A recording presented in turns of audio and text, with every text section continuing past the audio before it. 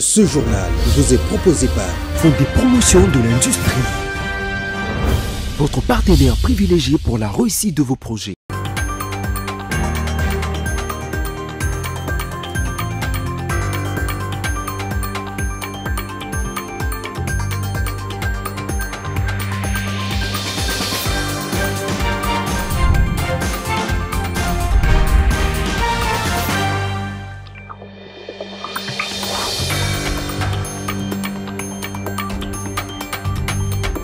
Fin des travaux de la table ronde sur l'état des sièges ce mercredi 16 août.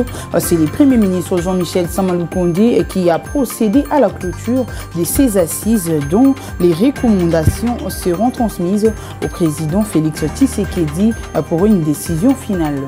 C'est demain que Salomon Idi Kalonda se devant ses juges naturels à la haute cour militaire. Dans ce journal, un cadre du parti politique Ensemble pour la République réagit sur les raisons des procès. Madame, Messieurs, bonsoir et bienvenue dans ce journal. Le chef du gouvernement, Jean-Michel Samalou Kondé, a mercredi 16 août clôturé les travaux de la table ronde sur l'état des sièges dans les provinces du Nord Kivu et de l'Ituri.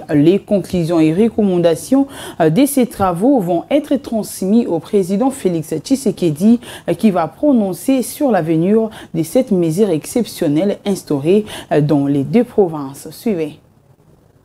Au Palais du Peuple, à Kinshasa, les deux chambres du Parlement se sont réunies en congrès à l'occasion de la cérémonie de clôture de la table ronde sur l'état de siège.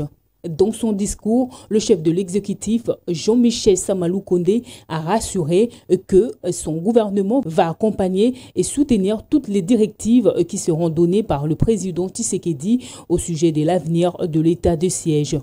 Ces trois options dominantes ont été rappelées lors de la cérémonie d'ouverture dans mon mot introductif. Et ces trois hypothèses de travail ont été confiées aux trois commissions distinctes de nos assises et ont été passées à la loupe dans le rapport de ces trois commissions.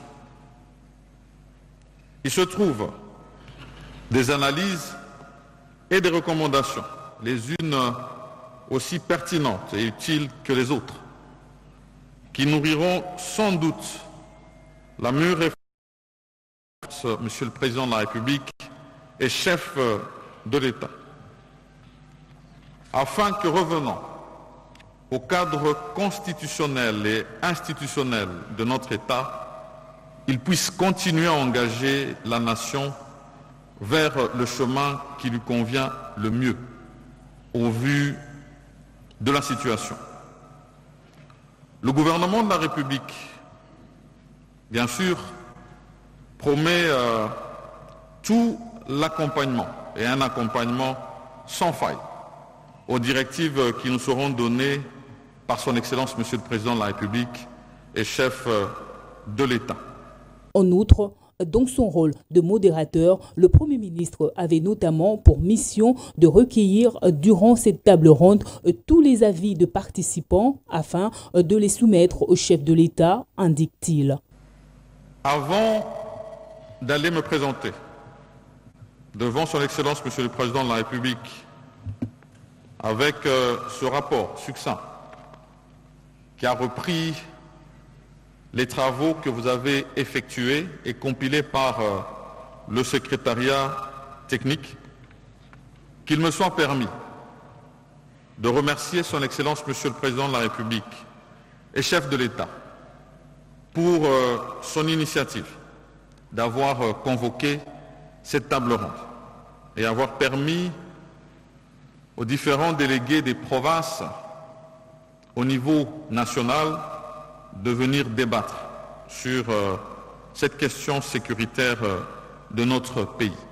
Il s'est de rappeler que c'est le chef de l'État de la République démocratique du Congo, Félix Antoine Tshisekedi, qui a initié et donné le go de ces assises lundi 14 août et qui ont pris fin ce mercredi 16 août. À noter par ailleurs que c'est depuis 2021 que l'état des sièges a été instauré dans ces deux provinces, notamment Nord Kivu et Ituri.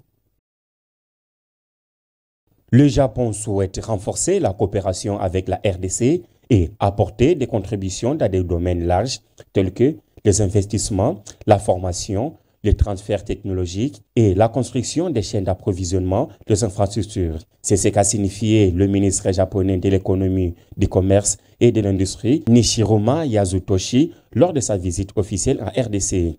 Il a été reçu par le premier ministre Jean-Michel Samalukonde jeudi 10 août dernier. La République démocratique du Congo est très riche en ressources naturelles, avec également une population de près de 5 millions d'habitants, un grand potentiel de croissance. Le Japon souhaite renforcer la coopération entre les deux pays. C'est dans ce contexte que le ministre Nishiroma est à Kinshasa pour élargir davantage cette coopération. D'après cet émissaire japonais, un accord a été conclu avec le Premier ministre Samuel Konde pour un second lieu envoyer une mission conjointe publique-privée japonaise à RDC dans moins d'un an. À en croire Nishiroma Yazutoshi, le ministre japonais de l'économie, du commerce et de l'industrie, le Japon souhaite aussi construire une relation gagnant-gagnant avec la RDC. Dans un autre chapitre auréolé du succès euh, des athlètes congolais lors du 9e jeu de la francophonie, le chef de l'État Félix Tshisekedi euh, promet d'organiser désormais des compétitions nationales dénommées euh, Jeux de la RDC au vœu exprimé mardi 15 août au cours d'un dîner qu'il a partagé avec les représentants du pays à cet événement organisé récemment à Kinshasa. Regardez.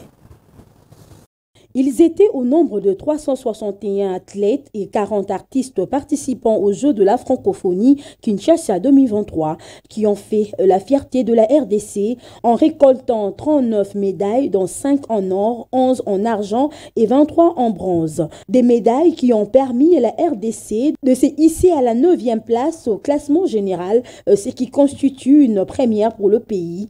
À travers cette réception organisée à l'honneur de sportifs et artistes, le chef de l'État a voulu le remercier et le féliciter pour l'honneur fait au pays avec une moisson abondante en dépit euh, d'une préparation non efficiente. Euh, dans les buts euh, de promouvoir les sports congolais et mieux préparer les compétitions internationales, le président Félix Tshisekedi a fait de son souhait d'organiser chaque année à Kinshasa des Jeux de la RDC et a instruit le Premier ministre afin de débloquer des primes et de mérite pour le médaille et de primes de participation à faveur de tous les compétiteurs congolais alignés. Les ministres de Sport et Loisirs François Kaboulou a remercié à son tour le président de la République pour sa détermination et son implication personnelle à l'organisation de 9e Jeux de la francophonie avec de nouvelles infrastructures répondant aux standards internationaux. La RDC peut organiser n'importe quelle compétition internationale, a dit le ministre Kaboulou. Les Jeux de la République démocratique du Congo devront être pris en considération pour préparer nos athlètes pour de prochains Jeux. Euh, les infrastructures doivent être bien protégées pour abriter d'autres compétitions.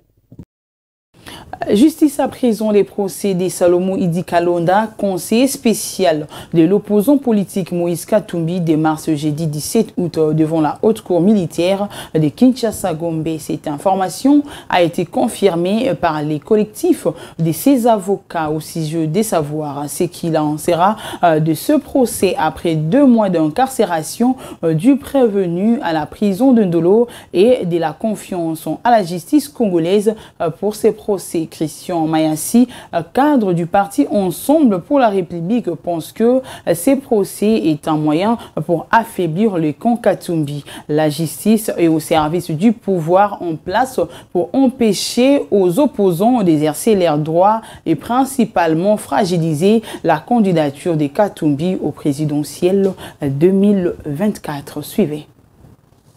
M. Salomon Kalonda a été arrêté il y a cela deux mois de manière euh, tout à fait brutale et illégale euh, à l'aéroport de Djili. Après cela, il a été conduit à la DEMIAP où il a été interdit de consulter ses avocats ni de voir sa famille politique et biologique. Euh, Monsieur Tshisekedi nous avait dit qu'à son arrivée au pouvoir, il fermerait tous ses cachots, mais nous avons compris que c'était du populisme, du pur mensonge, puisque ces cachots-là existent jusqu'à ce jour. Donc nous considérons l'arrestation de M. Salomon Kalonda comme euh, un moyen d'affaiblir le camp Katumbi.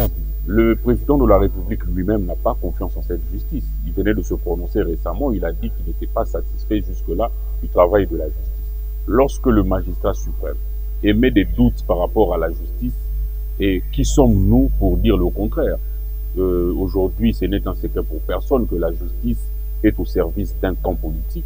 Euh, la, justice est au, service, est au service de ce pouvoir pour museler les opposants, pour euh, empêcher à certains opposants de postuler ou d'affaiblir des camps politiques. Donc nous, nous disons que Salomon Kalonda est innocent et nous déclarons, nous demandons aussi sa libération immédiate et sa condition parce qu'il s'agit là d'une arrestation politique, d'un procès politique monté de toutes pièces, sans preuve, Toujours en justice, après une trentaine d'audiences à la haute cour militaire dans la phase euh, d'instruction de l'affaire de Proveni Edouard Mwanga Chouchou, les juges de cette cour ont affirmé mardi 15 août être suffisamment éclairés et attendre euh, le plaidoirie euh, de partie commentaire de Alengoy. Selon la haute cour, ces plaidoiries sont fixées au 22 août prochain. Le même jour, le ministre public va prononcer son réquisitoire après les conclusions de la partie civile. Toutefois, les avocats de la défense ont dénoncé ce qu'ils considèrent comme la partialité de la haute cour au motif, selon eux, que certains témoins cités, à l'instar d'un ancien conseiller à la présidence de la République, n'ont pas été convoqués. Qu'à cela n'étienne, ils promettent de se battre jusqu'au bout. L'élu du territoire des Massissi dans la province du Nord Kivu et son co-prévenu, Moucha Maliroy, sont poursuivis par la haute cour militaire pour participation à un mouvement insurrectionnel entretient des liens avec les rebelles, à commettre des actes contraires au devoir et à la discipline des détentions illégales de munitions de guerre. Sa société basée au Nord Kivu ne peut plus exploiter les coltans. À tout à fait autre chose, le vice-premier ministre, ministre de l'Intérieur, Sécurité, Décentralisation et Affaires coutumières a eu lundi 14 août à Kinshasa une causerie sur la sécurité avec les chefs des quartiers du district de la Tchangou. Ces derniers ont profité de l'occasion pour formuler une recommandation au patron de la territoriale, celle portant création d'un comité dans chaque commune afin de permettre une interaction entre le chef du quartier et les autorités commentaires de Vanessa Makwebo. Ça n'est jamais arrivé il y a bien donné à RDC qu'un vice-premier ministre, ministre de l'Intérieur, offre une écoute au chef de quartier. C'est avec insistance que Peter Kazadi, patron de la territoriale en RDC, a devant 138 participants tous venus du district de la Tchangou, décrit la place occupée par un chef de quartier au sein de l'administration d'un pays. Vous, vous êtes mes collaborateurs. On ne peut pas faire la politique de développement dans ce pays si on ne compte pas sur son administration. Et l'administration de base, c'est. Je veux d'abord que vous vous sentez investi de l'autorité de l'État. Vous êtes des représentants de l'État. Puisque chaque fois qu'il y a des décès, c'est vous qui constatez dans vos quartiers. Vous faites le rôle de nos pays vous êtes investi pleinement de l'autorité de l'État. À cet effet, le vice-premier ministre, ministre de l'Intérieur, dit compter beaucoup sur les chefs de quartier en ce qui concerne les réponses à apporter aux défis sécuritaires. Je vous prie de veiller surtout sur la sécurité, phénomène Boluna, Toligny et Silla. Et c'est très facile ici là. Moko kati na bino qui détient la liste ya bamembre ya quartier na ye oyo ayebi oyo ezali bafulu na bato ya mabe baza kuna kodenonse moto bakangi ye soki balibere ye bosala tu boyebisi ngai na moto alibere ye il va avoir des problèmes avec l'état congolais En réaction, ces chefs de quartier du district de la Tchangou sont avant tout émus de la causerie avec le patron de la territoriale.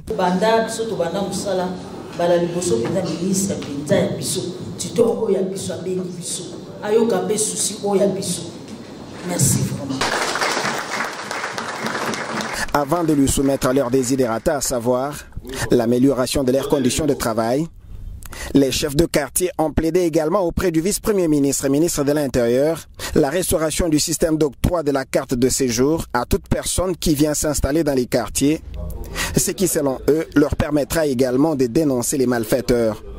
En outre, ils ont sollicité l'implication du patron de la territoriale pour qu'il y ait harmonie dans leur collaboration avec la police.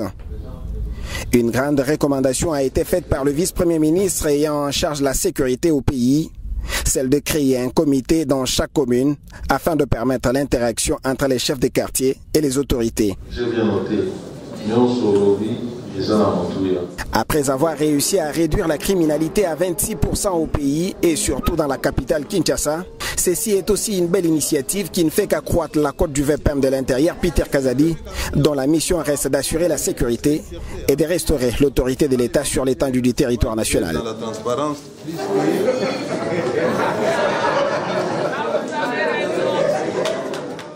L'Institut supérieur du commerce IEC à Kinshasa-Gombe et Inspection générale de finances IGF coalisent leurs forces dans la lutte contre la corruption.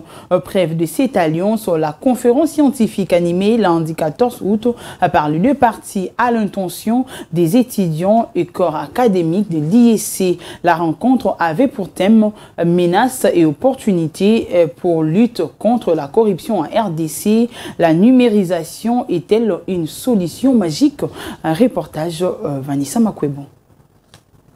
La lutte contre la corruption implémentée par le président de la République, Félix Antoine Tshisekedi, a fait l'objet de la grande conférence scientifique co-animée lundi 14 août entre l'inspection générale de finances et l'Institut supérieur de commerce de Kinshasa, IEC.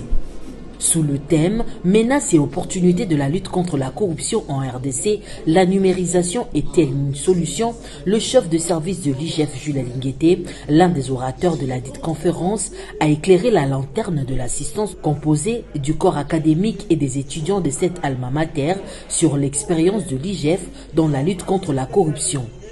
En détant trois mouvements, l'IGF a fait son exposé en quatre points. L'état des lieux de la corruption en 2019, les stratégies mises en place par l'IGF sous les directives du chef de l'État, les résultats obtenus jusqu'en 2023 et les perspectives d'avenir.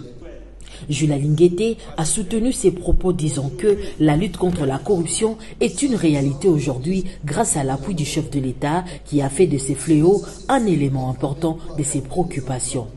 Et l'IGF a été redynamisé pour accompagner la vision du chef de l'État. Voilà pourquoi il est important d'échanger avec la population sur les résultats de cette lutte.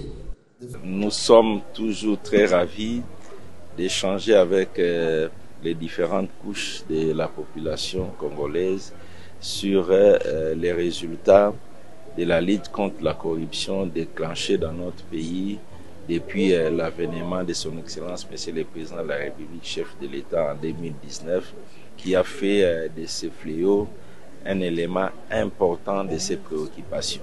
Le directeur général de l'IEC, le professeur Edson Niosamba, premier à prendre parole, a démontré à son tour la volonté manifeste de l'IEC à accompagner la vision chère du président de la République, celle de lutter contre la corruption.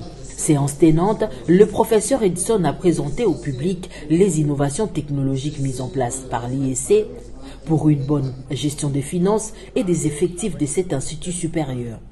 Cette conférence, a-t-il renchéri, est une occasion de répercuter aux yeux de tous les efforts fournis par l'IEC dans la lutte contre la corruption.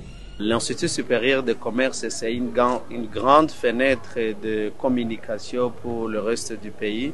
Nous pensons qu'avec l'honneur que nous avons eu de recevoir cette haute autorité, notre euh, modeste institut servira de vitrine pour répercuter dans tous les recoins du pays les efforts fournis dans la lutte contre la corruption. C'est le gage d'avoir un Congo plus beau qu'avant. Avant la fin de la cérémonie, le public a eu le droit d'assister à un récit du fable de La Fontaine, question de réveiller les esprits de tous. La journée scientifique s'est soldée par le jeu de questions-réponses.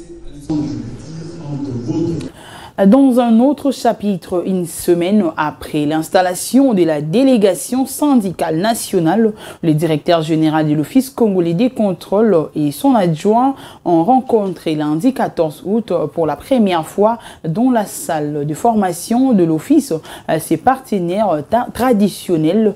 Détails dans ces reportages de Lolam Soko et Bakar Bailoreva. L'objet de cette rencontre était de mieux se connaître.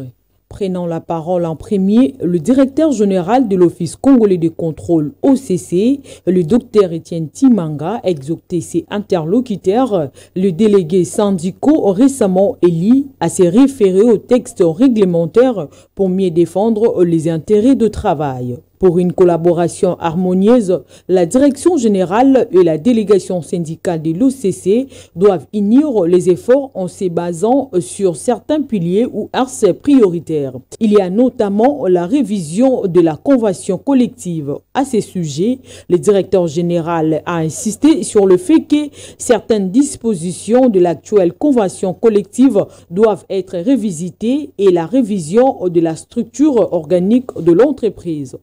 Il revient à la délégation syndicale de se comporter en responsable, de savoir qu'est-ce que j'ai été élu, je dois rester dans ce que je dois faire comme travail conformément aux textes légaux et réglementaires qui, qui régissent le fisc congolais de, de contrôle.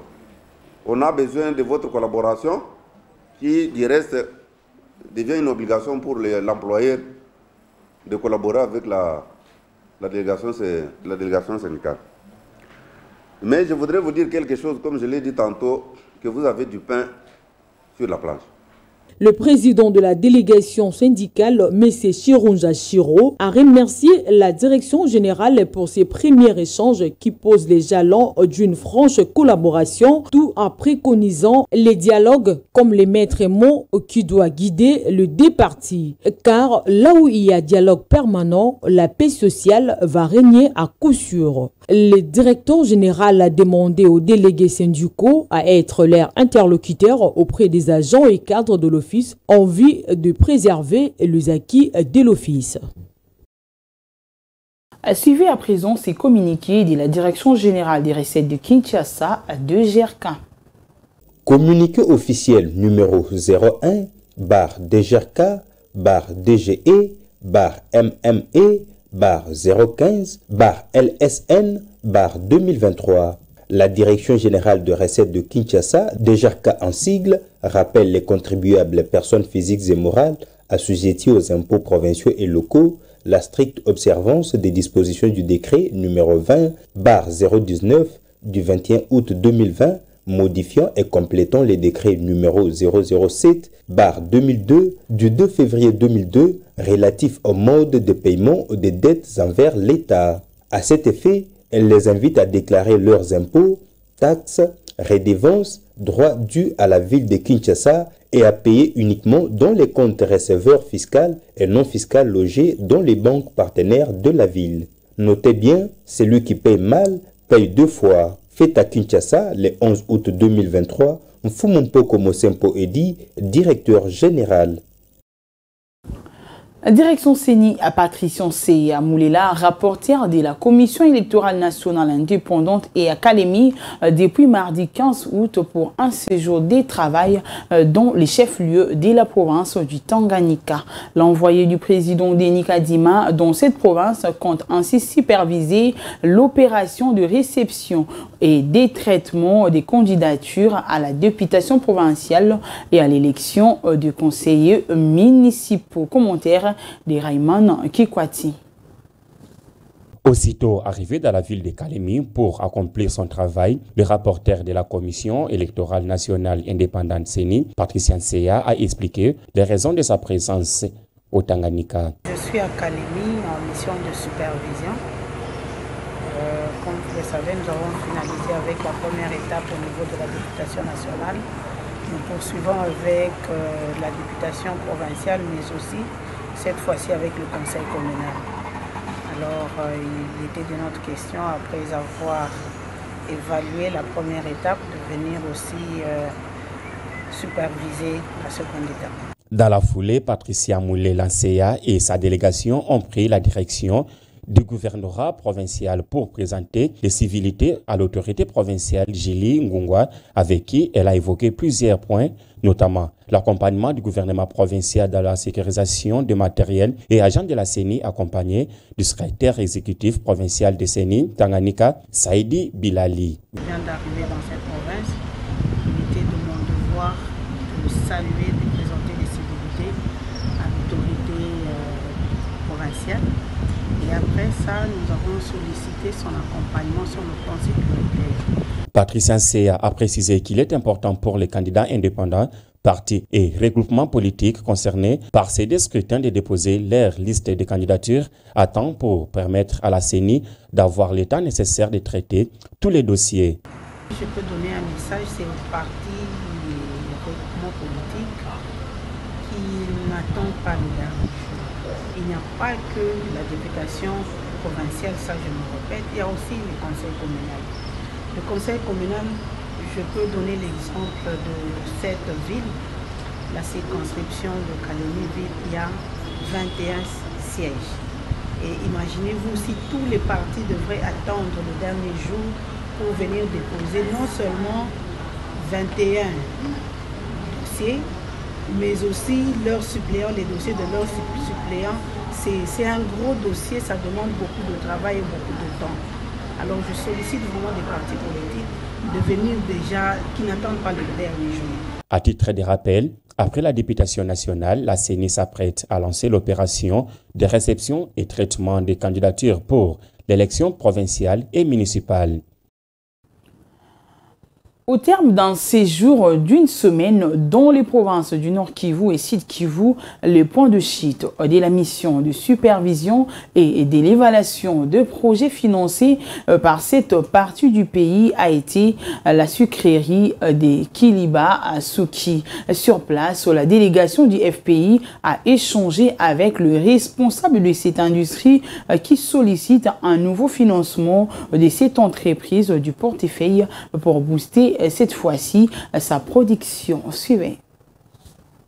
Le management du Fonds de promotion de l'industrie FPI est dynamique se comportant comme des vrais missionnaires au service de la République démocratique du Congo, la présidente du conseil d'administration, Vicky Katumwa Mukalaï, et le directeur général, Bertin Moudimou utilisent tous les moyens à leur disposition pour booster le secteur industriel. C'est ainsi que la délégation du FPI vient d'emprunter la voie lacustre et routière en quittant la ville de Goma pour atteindre la cité des Kiliba dans le territoire d'Ouvira via Bukavu.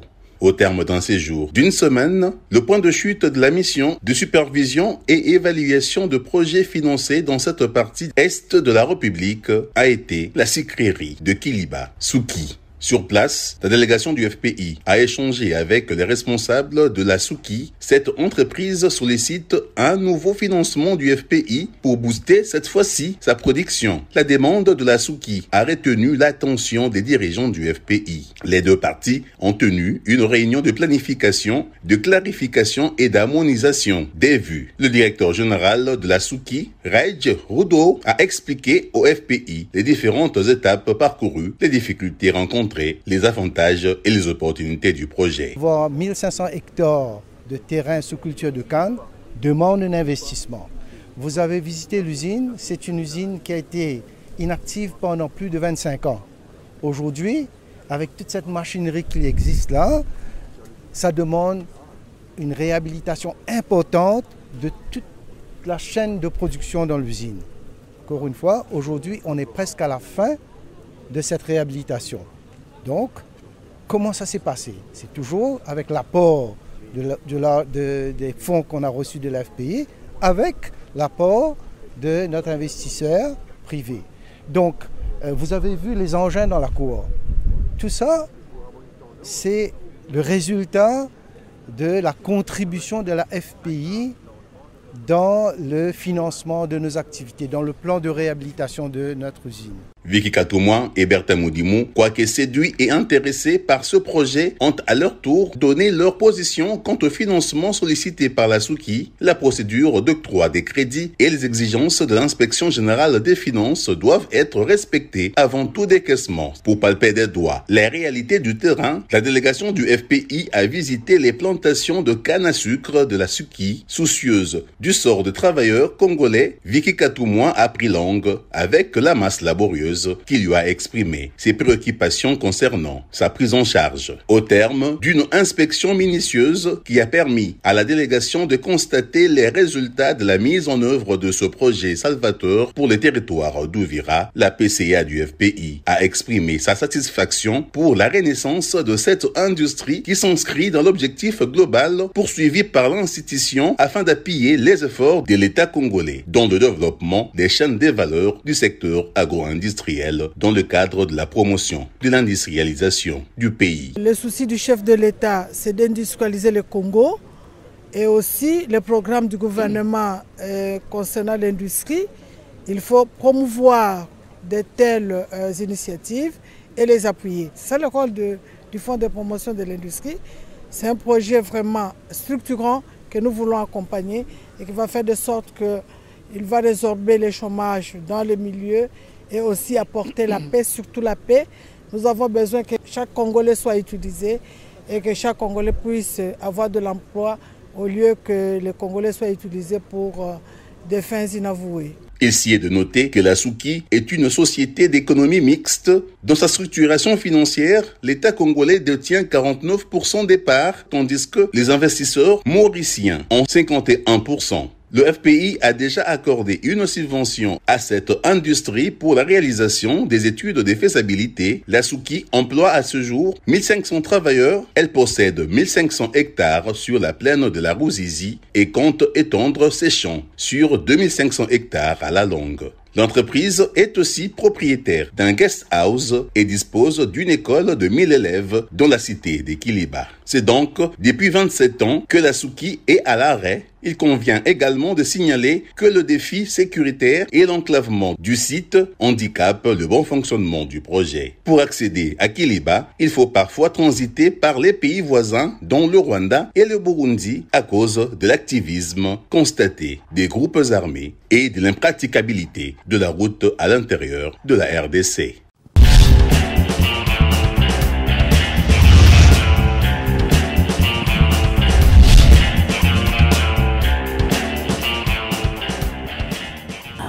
Sport à présent, pour ce soir, je reçois pour vous Blanchard Moundélé, à qui j'ai dit bonsoir. Bonsoir Nathalie. Tu vas bien Blanchard? Très bien, merci. Blanchard Moundélé, le stade de Martyr vient d'être homologué. Quelle joie pour les amoureux sportifs congolais Une satisfaction énorme là-dessus Nathalie, parce que c'est stade qui n'a pas vraiment vu euh, les rencontres sportives depuis un moment a maintenant a connu hein, son homologation par les inspecteurs de la CAF qui sont réellement descendus là-dessus ces derniers jours pour euh, son homologation. On pense que c'est vraiment une grande satisfaction pour la population congolaise et surtout euh, les amoureux de football et également certains clubs de la RDC. Là-dessus, on pense déjà que euh, le match, par exemple, le match de la, sixième journée de la, de la Coupe de l'Afrique des Nations, Cannes Côte d'Ivoire 2023, qui va devoir opposer la RDC au Soudan, peut être joué dans ces stades-là alors que le match était prévu au stade Tupisa Mazembe de Bumbashi. Mais franchement, c'est aussi une grande satisfaction pour euh, le ministre des Sports, François Kaboulot, qui est toujours en train de concentrer les efforts pour euh, améliorer quand même les sports l'est et surtout certaines infrastructures. Avec cette, cette allure-là, on pense que le match de la sixième journée de la RDC pourrait réellement avoir lieu dans ces temples de martyrs. Et puis Blanchard, la reprise de la Lina Foot est prévue et c'est 24 août que devons-nous retenir. Et une très bonne nouvelle également Nathalie de la part des amoureux sportifs congolais et surtout également devant tout le club congolais qui joue également la Lina Foot voilà comme Ligue 1 et Ligue 2 qui doivent également comprendre que déjà dès ces 24 août compétition là va également voir les jours, c'est 24 août, normalement, dans les temples des martyrs, si cela aura également lieu avec cette homologation-là. Et je pense que c'est aussi un communiqué hein, qui a été lancé par euh, le CONOR, euh, les comités de normalisation de la FECOFA depuis la semaine dernière. Et puis on pense également, il y a également les informations qui préviennent là-dessus, qu'ils avaient fixé que la compétition va devoir se jouer cette fois-là en deux phases. C'est-à-dire que les équipes de la zone Est vont devoir jouer entre elles et puis euh, les équipes de la zone, de la zone de l'Ouest également Les équipes de Kinshasa vont devoir également jouer entre elles et puis euh, viendra maintenant une phase des playoffs où on va devoir chercher les équipes qui devront normalement partir en finale. Et c'est aussi une manière pour le gouvernement congolais de pouvoir éviter également certaines frustrations, notamment, par exemple, on a vu la fois dernière que la compétition n'était pas jouée par exemple, on a vu que la fois dernière, la compétition ne s'était pas jouée pendant presque deux ans, simplement parce qu'il y avait un problème de déplacement de joueurs, il y avait un problème financier et un problème des infrastructures également. Et alors, pour éviter que ces problèmes-là ne soient un petit peu répétitifs, ils ont prévu que la compétition soit complètement jouée en deux phases. Euh, que les équipes de l'Est, comme je l'ai relayé, jouent entre elles et les équipes de Kinshasa jouent également entre elles. Et ça sera franchement, et ça sera franchement une très bonne chose au cas où la compétition débutait ce 24 août. Parce que les amoureux du football congolais et surtout le club en ont réellement besoin. Ça fait longtemps qu'on a goûté à cette compétition. Pour finir, Blanchard, une équipe de rugby composée uniquement des enfants a vu le jour en RDC depuis samedi 12 août 2023.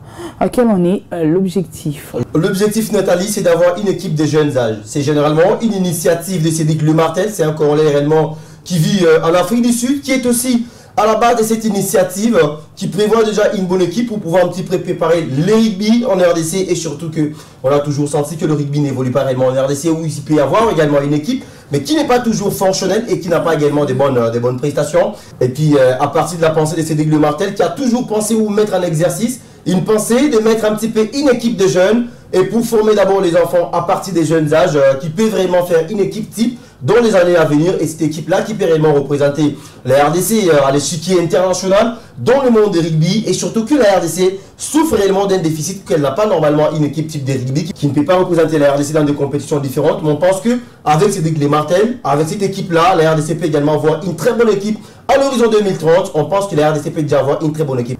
Euh, merci Blanchard Mondélé pour le détail des infos sportives. Merci beaucoup Nathalie. Merci également à tous les téléspectateurs d'Apic Télévision. C'est aussi une opportunité pour nous de leur parler.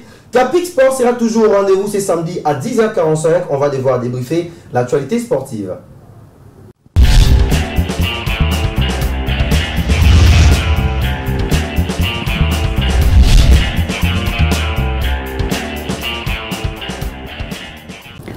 Poursuivons ce journal avec la revue de presse.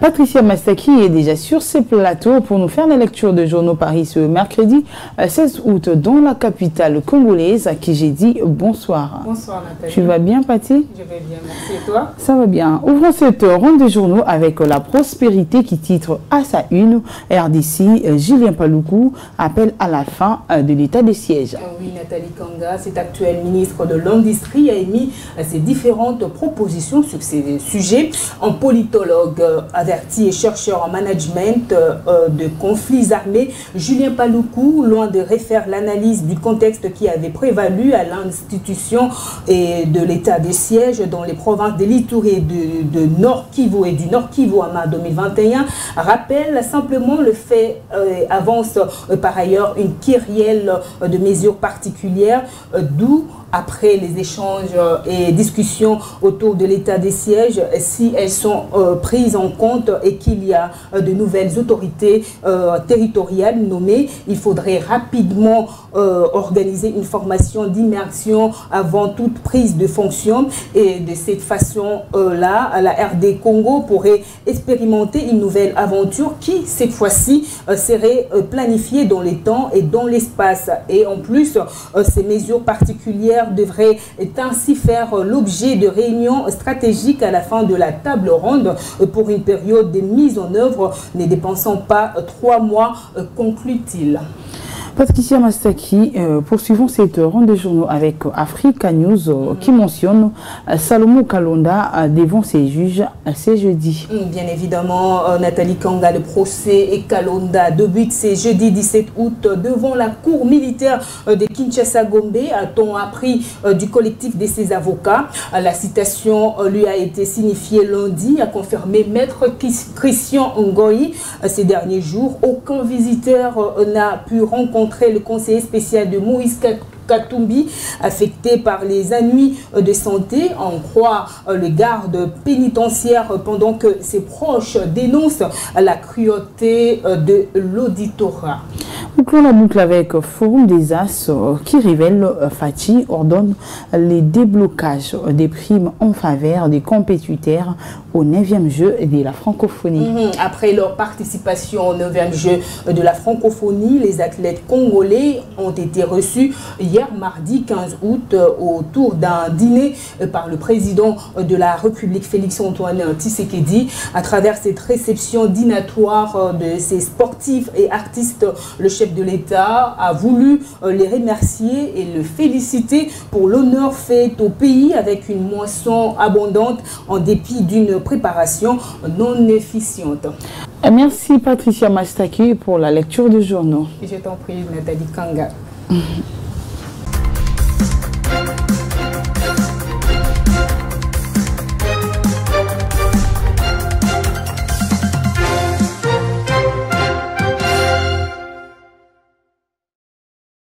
ce journal est terminé, mais avant de nous quitter, les rappels des titres. Fin des travaux de la table ronde sur l'état des sièges ce mercredi 16 août, c'est le Premier ministre Jean-Michel Samalou Condé qui a procédé à la clôture de ces assises dont les recommandations seront transmises au président Félix Tshisekedi pour une décision finale.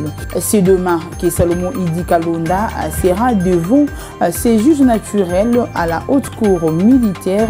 Euh, vous avez suivi dans ce journal un cadre du parti politique Ensemble pour la République réagit sur les raisons des procès. Voilà qui met fin à cette édition, Madame, Messieurs. Merci à tous l'avoir suivi. Bonsoir. Ce journal vous a été proposé par Fonds des promotions de l'industrie. Votre partenaire privilégié pour la réussite de vos projets.